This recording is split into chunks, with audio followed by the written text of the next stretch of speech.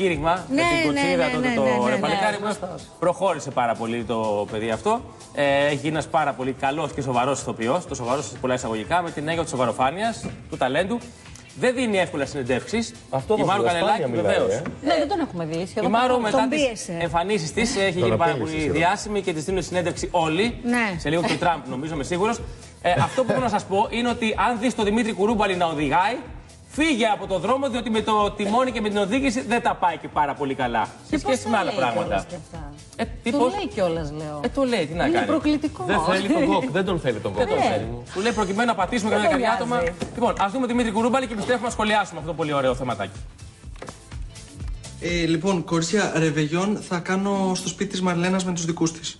Τι εννοείς καλέ; Εννοώ ότι με κάλεσε η Μαρλένα να πάω στο σπίτι να γνωριστούμε καλύτερα με τους δικούς της. Ρε παιδί μου, εγώ δεν έχω πάει μια φορά στο σπίτι τους να φάμε σαν άνθρωποι έτσι να καθίσουμε να τα πούμε, ενώ η Μαρλένα έχει έρθει εδώ άπειρες φορές. Δηλαδή επισημοποιείται ε, τη σχέση. Κοίταξε, τώρα που το πιασες, μη σου ξεφύγει.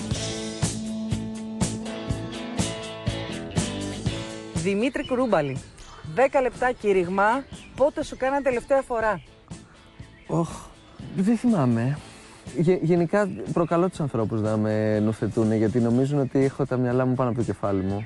Σου τη πάει όταν σου κάνουν κήρυγμα; Σε νευριάζουν. Ναι, γενικά δεν μπορώ, ότι... δεν μπορώ το να μου λένε τι είναι σωστό και τι όχι.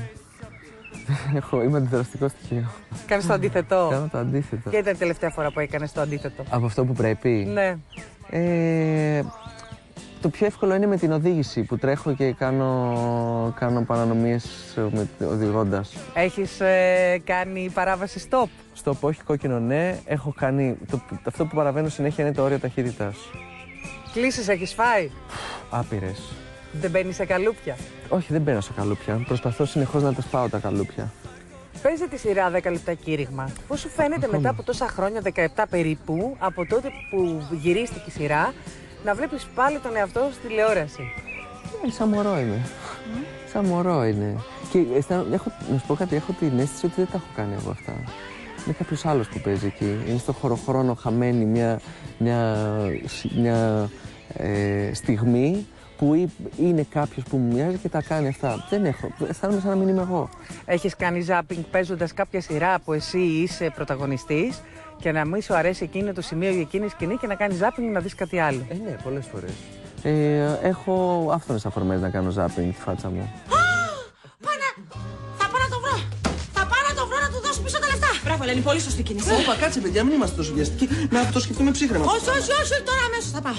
Αλλά θα κρατήσω 100 ευρώ για το σπάσιμο. Α, ναι, μπράβο και για μένα που σου έδωσα συμβουλές να μην Ναι, και πάω εγώ κάτι. κάνει συμπαράσταση. Έλα, ρε, Ελένη, κατά έλα. Ο Παύλος Χαϊκάλης, που ουσιαστικά ήταν και συμπροταγωνιστή σου σε αυτή τη σειρά. Πώς σου φαίνεται που ασχολείται με την πολιτική; Ο καθένας κάνει τις επιλογές του. Ε, Πώς να μου φαίνεται; Ο άνθρωπος ήθελε να ασχοληθεί με την πολιτική και ασχολήθηκε. Εσένα σου έχουν κάνει πρόταση να κατέβεις στην πολιτική; Ναι.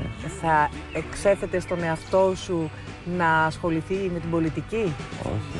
Απλώς ξέρω ότι δεν μπορώ να κάνω τίποτα. Είναι αδύνατο. Είναι ένα, είναι ένα, ένα, σύσ- ένα ε, δημιούργημα, μια μηχανή που λειτουργεί με βάση την αλληλοεξυπηρέτηση συμφερόντων.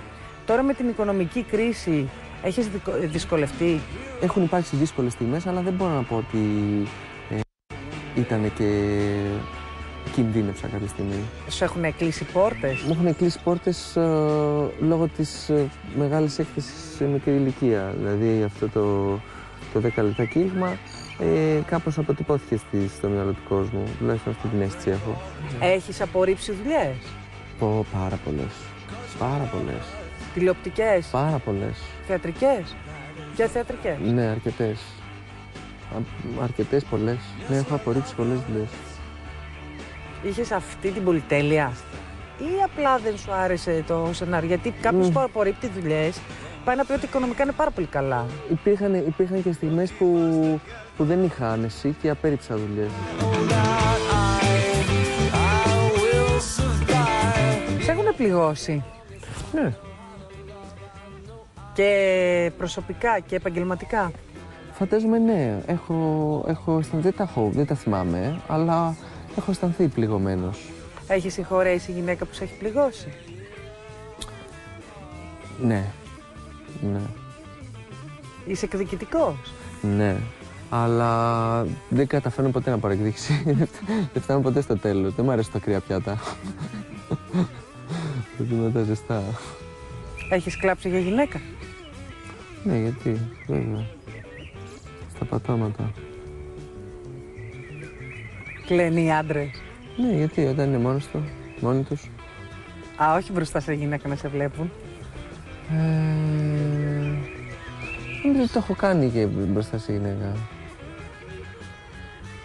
Αλλά ήταν, ήταν λίγο, ήταν κάπως είχα επίγνωση ότι το κάνω. Δεν την προβάλλεις στην προσωπική σου ζωή. Είσαι ένας άνθρωπος κλειστός και προσέχεις την εικόνα σου; Νο- νο- δεν με ενδιαφέρει να μιλήσω για τίποτα άλλο πέρα από τη δουλειά μου.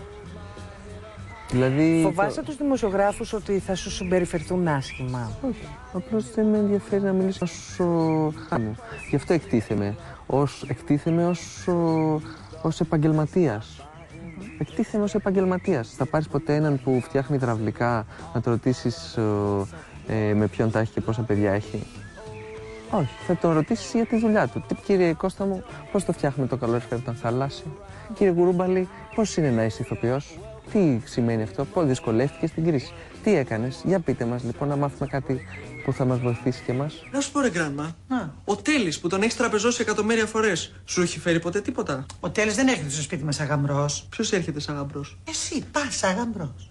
Γιαγιά, αν θες να διατηρήσουμε επαφές και τον επόμενο χρόνο, σε παρακαλώ να ξεκολλήσει το μυαλό σου από αυτή την ιδέα. Δεν παντρεύομαι, εντάξει; Αλήθεια σκέφτεσαι να κάνεις οικογένεια; Ε, μ, έχω σκύλο, οπότε είναι.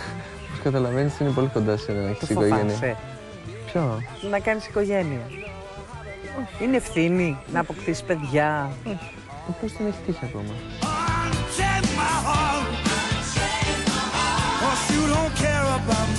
Πότε σου είπαν ότι οι γονείς σου ότι δεν ήσουν καλός; Ε, δεν μου έχουν κάνει τόσο αυστηρή κριτική. Ποτέ. Άμα δεν τους αρέσει κάτι, δεν λένε τίποτα απλώς. Την κοπέλα σου θα την άκουγε σε μια συμβουλή της; Ναι, ω, είσαι καλά. Πολύ.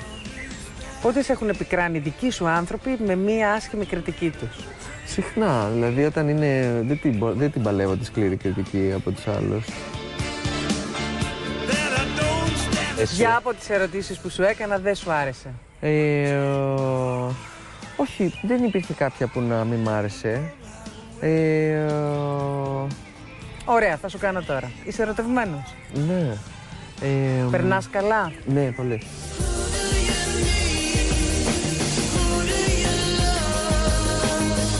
Εσύ την τελευταία φορά πότε ένιωσες φρίκι; Πραγματική φρίκη νιώθω όταν ε, ε, ο άνθρωπος παίρνει άσχημα στον άνθρωπο.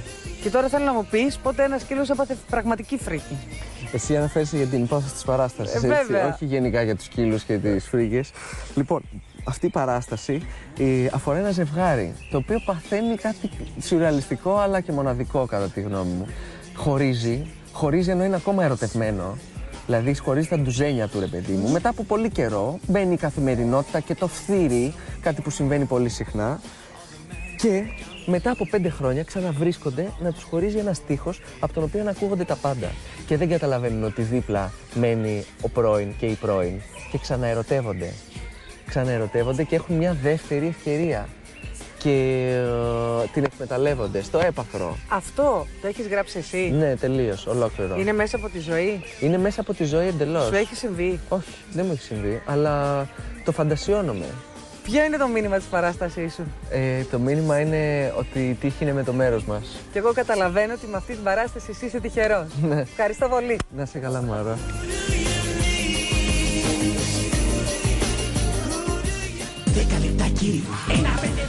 Μάλιστα, το μήνυμα της παράστασης του Δημήτρη Κουρούμπαλη είναι ότι η τύχη είναι με το μέρος Μας μα. φαντάσου να έχει χωρίσει ένα ζευγάρι και μετά από πέντε χρόνια να βρεθούν, να βρεθούν τυχαία να του χωρίσει ένα τείχο.